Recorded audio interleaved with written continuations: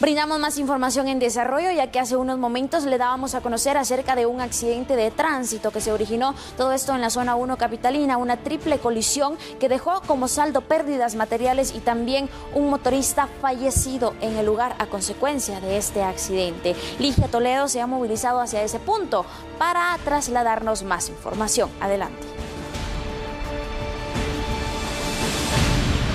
Así es, compañeros en estudio, nos encontramos en la 16 calle y séptima avenida, justo en el lugar donde le dimos a conocer que ocurrió un lamentable hecho de tránsito que lo que habían indicado las autoridades de la Policía Municipal de Tránsito de la ciudad capitalina eh, iba a haber bastante tránsito vehicular por ese sector. Usted podrá observar en pantalla que aún están los restos de la triple colisión que hubo entre una camioneta tipo Pullman, también una camioneta tipo agrícola y un motociclista.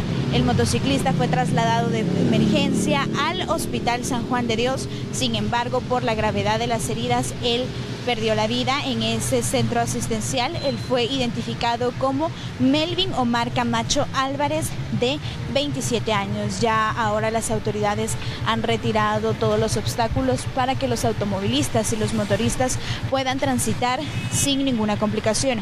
Además de ello, le damos a conocer que nosotros le hemos dado cobertura a este tipo de casos y según el Departamento de Tránsito de la Policía Nacional Civil, los motoristas siguen siendo los más vulnerables al momento de los accidentes de tránsito. De 5.570 incidentes que han tenido ellos registrados del 1 de enero al 31 de julio, el 38% de los afectados han sido motoristas y ellos mismos han perdido la vida. El 18% son automovilistas, 13% quienes conducen pick-up, 9% camionetas, 7% camionetas tipo agrícolas, ya después van los buses extraurbanos y también los microbuses. Ya usted puede observar en pantalla que el tránsito vehicular ya está liberado en este sector, sin embargo aún quedan residuos de la motocicleta que fue prácticamente destruida y también de la camioneta tipo agrícola que resultó con daños. Yo con esta información y con imágenes de Héctor García retorno con ustedes al set principal.